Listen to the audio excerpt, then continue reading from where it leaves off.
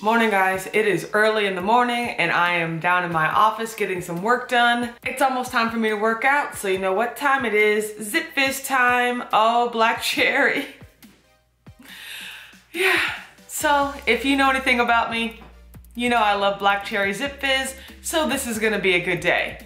Unfortunately, I left my bottle opener in the car like an amateur, so I'm back in the Stone Ages trying to get the top off. Oh my, it's just traumatic.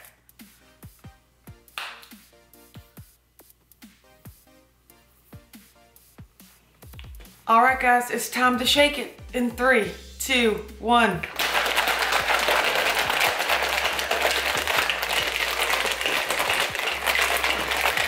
Oh yeah. To a productive week.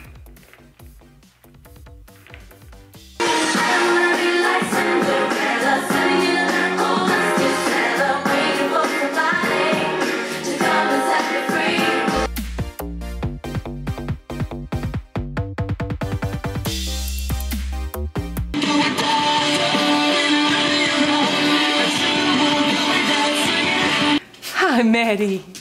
Hi, Maddie.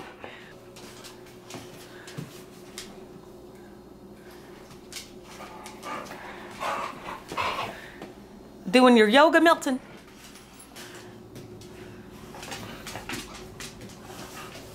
Oh, again? Oh, okay. Milton, sit. Good boy. Good boy, Tiki.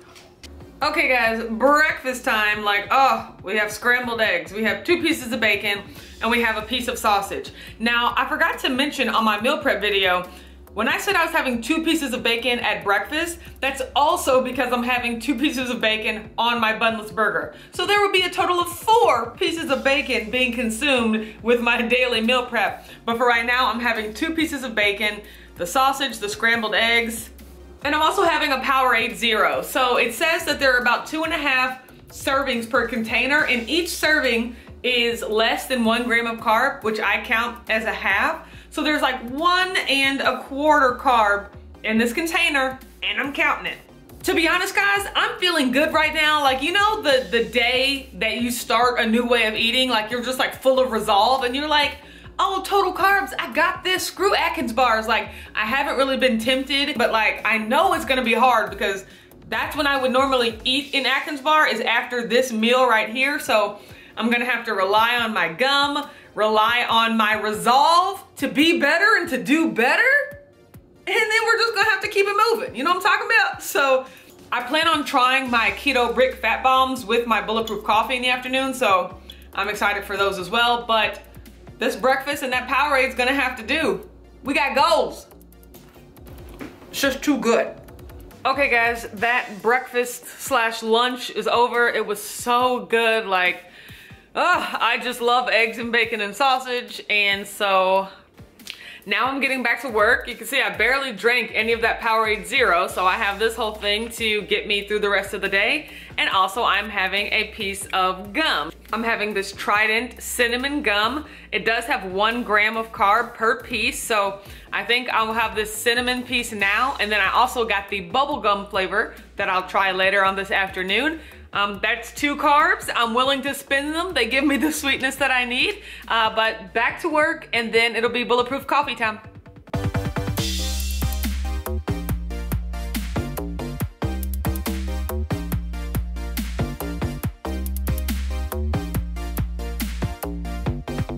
Five minutes later.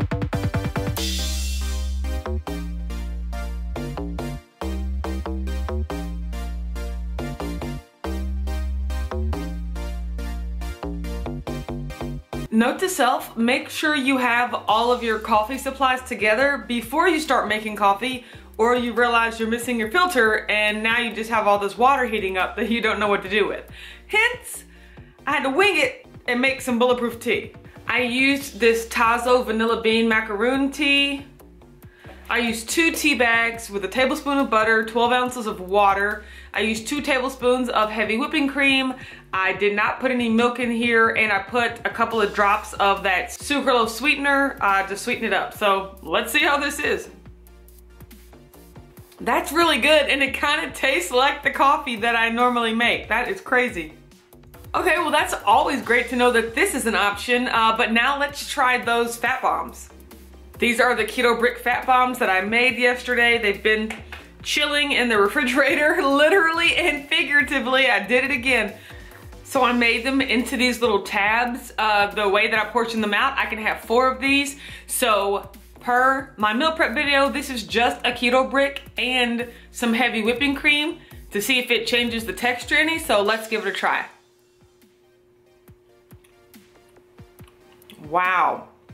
I mean, the heavy whipping cream just makes it so much chewier and less crumbly, which to be honest, I don't know is a good or bad thing. I like the crumbly texture, but like, that's crazy.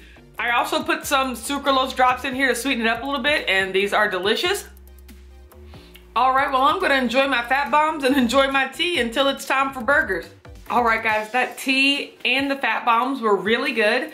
Uh, and so I'm just gonna have this piece of Trident bubble gum. This is my second piece of the day. The first one was cinnamon. This is bubble gum, and this will really just, you know, tide me over till dinner time. It is a sweet, bubblegummy flavored treat. Um, it's sweetened with xylitol, so, you know, think about that if you have any qualms about using xylitol, but this is great for me. I'm gonna have one of these, and then it'll be dinner time. Okay guys, it is dinner time. You can see here I have my barbecue bacon ranch cheeseburger. So I have the burger, I have some barbecue sauce and some ranch. Let me show you which ones I used. I got the G Hughes sugar-free barbecue sauce and I just have this jalapeno bacon ranch. The only reason I'm using this is because I had it left over from another recipe and like food waste what? You know, so like I'm just using this. Normally I'd be using mayo, so like either one is okay. Then I have my cheddar cheese. I have that fresh sliced jalapeno. And then I have the bacon. So I'm going to cover this burger up nice and snug and tight with its little lettuce covers there. And I am going to enjoy this. Uh, after that, I'm coming back for some jello. Okay guys, I called an audible. Uh, that bacon cheeseburger was so good, but like as soon as I ate it, I knew that it wasn't gonna be enough. So I actually made some microwave broccoli. I have a tablespoon of butter in here and I whipped up those little pepperoni stacks. So this is just four pepperoni, so probably an ounce of pepperoni. This is an ounce of cream cheese and then a couple of jalapenos on top. And I'm very excited about this. To be honest, I don't really know how much food this is, which is not what I recommend, okay? I'm a firm believer that in order to lose weight, you just have to know how much you're eating. So for accountability, I am definitely calculating and putting my total macros at the end of this video, just so I know like, okay, how much did I actually eat? And then from there, I will adjust. My goal is to eat between 16 and 1800, so I don't know if that's what I hit or maybe I'm at 2000. I don't know. And that's what happens when you don't calculate how much you eat. And then based on that, like I said, I'll adjust. So maybe tomorrow I won't have these or maybe I won't have this just to let me know my exact numbers because that's how you reach your goals.